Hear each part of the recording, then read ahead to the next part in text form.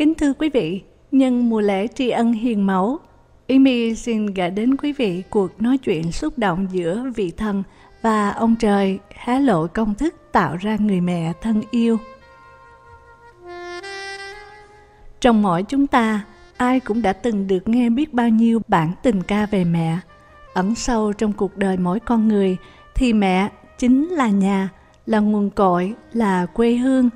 Nhưng mấy ai trong chúng ta biết được ông trời đã tạo ra mẹ như thế nào? Quả thực, để tạo ra người mẹ không dễ dàng gì. Ông ban cho người mẹ những thiên chức tuyệt vời và thiên liêng biết bao. Chuyện ngày xưa kể rằng, khi tạo ra người mẹ đầu tiên trên thế gian, ông trời đã làm việc miệt mài suốt 6 ngày liền, quên ăn quên ngủ mà vẫn chưa xong việc. Thấy vậy, một vị thần bèn hỏi, Tại sao Ngài lại mất quá nhiều thời giờ cho việc tạo ra vật này? Ông trời đáp, Người thấy đấy, đây là một tạo vật cực kỳ phức tạp, gồm 200 bộ phận có thể thay thế nhau và cực kỳ bền bỉ, nhưng lại không phải là gỗ đá vô tri vô giác. Ta đang tạo ra vật này có thể sống bằng nước lã và thức ăn thừa của con, nhưng lại đủ sức ôm ấp trong vòng tay nhiều đứa con cùng một lúc. Nụ hôn của nó có thể chữa lành mọi vết thương, từ vết trầy trên đầu gối cho tới một trái tim tan nát. Ngoài ra, ta định ban cho tạo vật này có thể có sáu đôi tai. Vị thần nọ ngạc nhiên, sáu đôi tai? Không thể tin được. Ông trời đáp lại, thế còn ít đấy, nếu nó có ba đôi mắt cũng chưa chắc đã đủ. Vị thần nói, Vậy thì Ngài sẽ vi phạm các tiêu chuẩn về con người do chính Ngài đặt ra trước đây. Ông trời gật đầu thở dài. ừ, đành vậy. Sinh vật này là vật ta tâm đắc nhất trong những gì ta đã tạo ra. Nên ta đã dành mọi sự ưu ái cho nó. Nó có một đôi mắt nhìn xuyên qua cánh cửa đóng kín và biết được lũ trẻ đang làm gì. Đôi mắt thứ hai ở sau gái để nhìn thấy mọi điều mà ai cũng nghĩ là không thể biết được.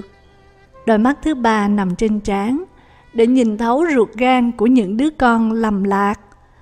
Và đôi mắt này sẽ nói cho những đứa con đó biết rằng mẹ chúng luôn hiểu, thương yêu và sẵn sàng tha thứ cho mọi lỗi lầm của chúng. Dù bà không hề nói ra, nhưng nó ẩn chứa nội dung bao la để nâng bước những đứa con trở về. Vị thần tiếp tục đến gần và sờ vào tạo vật mà ông trời đang bỏ công cho ra đời và kêu lên. Tại sao nó lại mềm mại đến thế? Ông trời đáp, vậy là ngươi chưa biết hết. Tạo vật này rất cứng cỏi, ngươi không thể tưởng tượng nổi những khổ đau mà tạo vật này sẽ phải chịu đựng và những công việc mà nó phải hoàn tất trong cuộc đời. Vị thần dường như phát hiện ra điều gì, bèn đưa tay sờ lên má người mẹ đang được ông trời tạo ra. Ồ, thưa ngài, hình như ngài để rớt cái gì ở đây nè. Ông trời thở dài. Không phải, đó là những giọt nước mắt đấy. Nước mắt? Để làm gì, thưa ngài? Vị thần hỏi để bộc lộ niềm vui, nỗi buồn, sự thất vọng, đau đớn, đơn độc và cả lòng tự hào những thứ mà người mẹ nào cũng sẽ trải qua. Những giọt nước mắt tưởng như chỉ mang đến nỗi buồn, nhưng thực tế lại là một điều thật đáng quý dành cho người mẹ. Người mẹ nào cũng sẽ nếm trải đầy đủ cả niềm vui, nỗi buồn, sự thất vọng, đau đớn, đơn độc, lòng tự hào, vân vân nhiều cảm xúc lắm. Và lúc ấy, giọt nước mắt như một liều thuốc, như một vũ khí, giúp mẹ mạnh mẽ hơn. Khi con vui, mẹ sẵn sàng hòa cùng niềm vui của con. Khi con ngã đau, trong những giọt nước mắt, mẹ ước mình có thể chịu thay cho con những vết thương da thịt. Mẹ sẵn sàng dành tất cả những gì tốt đẹp nhất cho con mà chưa một lần tính toán rằng sẽ thu lại được lợi ích gì cho mình. Mẹ chăm con như chăm những mầm non, nhìn con thay đổi vào mỗi sớm mai. Cho đến lúc con tưởng mình đã trưởng thành rồi, con rời xa mẹ để tạo dựng cuộc sống mới. Nhưng đối với mẹ thì từng khoảnh khắc, từng phút giây, luôn dành trọn tim mình cho những đứa con. Với mẹ, con là cả một thế giới. Ông trời đã dành bao tâm huyết để tạo ra một người mẹ, một người mẹ vĩ đại trong mắt toàn nhân loại cũng như từng đứa con. Nếu chúng ta vô tình làm tổn thương người mẹ, vậy phải chăng chúng ta đã vô tình làm tổn thương tới ân huệ và công phu mà ông trời dành tặng cho mình?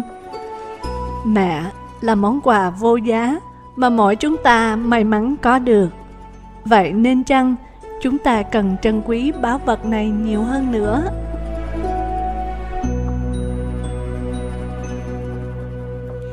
Mẹ là vòng tay, ấp ôm con qua những ngày đông Mẹ là dòng sông, để con tâm mát chưa hè mẹ là rặng tre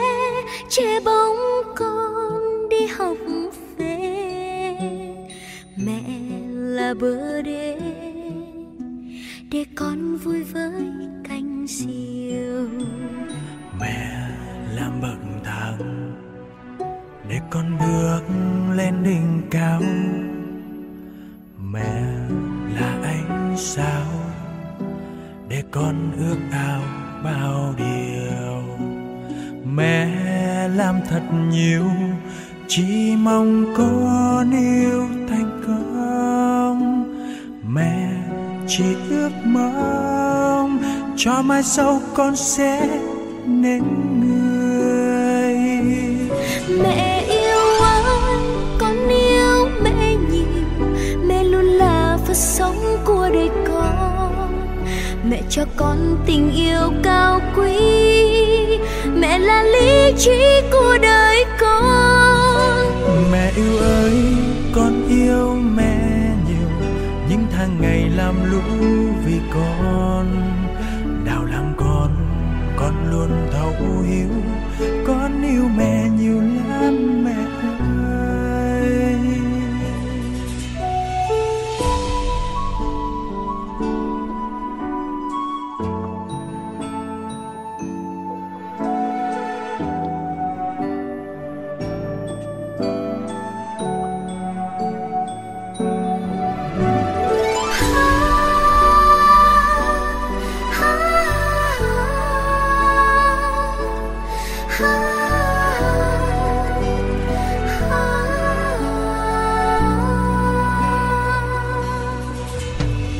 mẹ làm bậc thang để con bước lên đỉnh cao.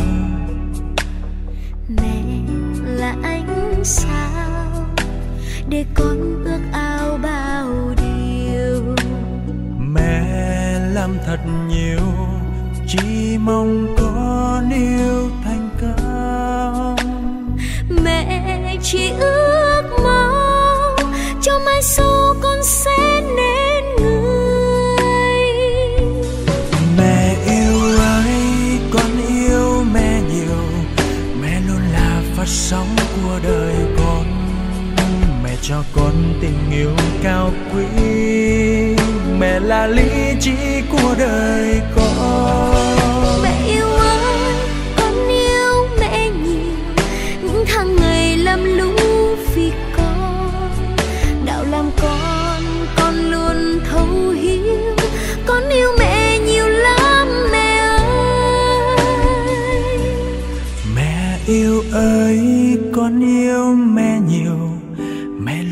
phát sóng của đời con.